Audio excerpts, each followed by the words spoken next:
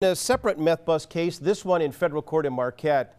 It happened when Leanna Horton and Christopher Brow were in U.S. District Court today for sentencing.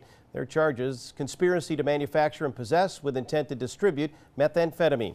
TV6's Blair Caldwell joins us now. She was in court today and has the story. Blair? Yeah, Steve, this case started with a fire in October of 2013. The couple was charged with producing methamphetamine in a trailer at Birch Grove Mobile Homes.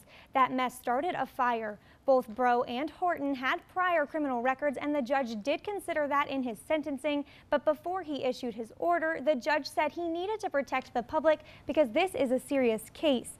Horton asked for mercy because she is not a monster, but an addict and expressed a desire for sobriety and help. She was sentenced to 14 years and seven months in a federal prison.